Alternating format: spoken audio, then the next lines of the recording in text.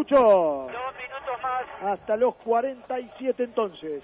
Va a sacar a Aguirre Garay. Aguirre Garay para Gargano. Gargano con la pelota puesto del 8, manda al centro. Va para Canario. Saca con golpe de cabeza al fondo. La dejaron por el medio. ¿Quién entra? Cepelini le pegó mal. Sale Silvaira. Golpe de puño del arquero. Penal.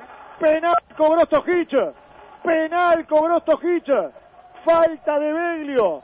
Contra un elemento de Peñarol. Contra el Canario Álvarez Martínez. ¿Se entiende Stojic que hay codo de Álvarez Martínez? Esta me dejan dudas. Esta me dejan dudas. Beglio protesta, la tarjeta no es para Beglio, es para el futbolista que aplica un codo sobre Álvarez Martínez. Peñarol tiene otro penal a los 46 minutos de la primera parte. ¿Qué viste, da Silveira? Se toma la cara, caído, el canario Álvarez Martínez.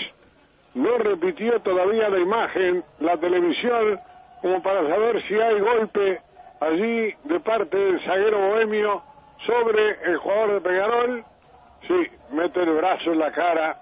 Claramente el jugador de Wanderers, para mí, hay penal. Penal bien cobrado por parte de Esteban Otojic, de Emiliano García, sobre el canario Álvarez Martínez. Parece raro, increíble que los jugadores hagan este tipo de tontería, ¿no? Había resuelto ya Mauro Silvera y otro penal que tiene Peñarol a favor. Hace pocos minutos, a los 40, malogró uno Cepelini. Veremos quién ejecuta ahora, si será Cepelini nuevamente. Va de vuelta, va de vuelta Cepelini. Bueno, insólito lo de Emiliano García, ¿eh? Increíble lo del número 23 de Wanderers. Una pelota llovida, donde Silveira salía. Se preocupó más de ponerle la mano en la cara al canario Álvarez Martínez que de ir a buscar la pelota o de hacer pared para que saliera su compañero, el arquero. Increíble, increíble. Bueno, Cepelini irá por la revancha. ¿Sabe? Abre los brazos Mauro Silveira, sí escucho. Si hubiera habido bar, era usar del canario. Ah, mirá. Bueno, buen dato aporta el Toto. Ya ampliamos después del tiro de Cepelini. Toma la misma carrera que hoy. Brazos en jarra. Va a patear fuerte en esta, ¿eh? Va a intentar asegurarlo. Va Mauro Silveira. Ahí está el arquero agazapado. Cepelini. ¡Gol! ¡Gol! De Peñarol, Pablo Cepelini. Lo tiró a la derecha. Volvió otra vez sobre el palo zurdo. Mauro Silveira.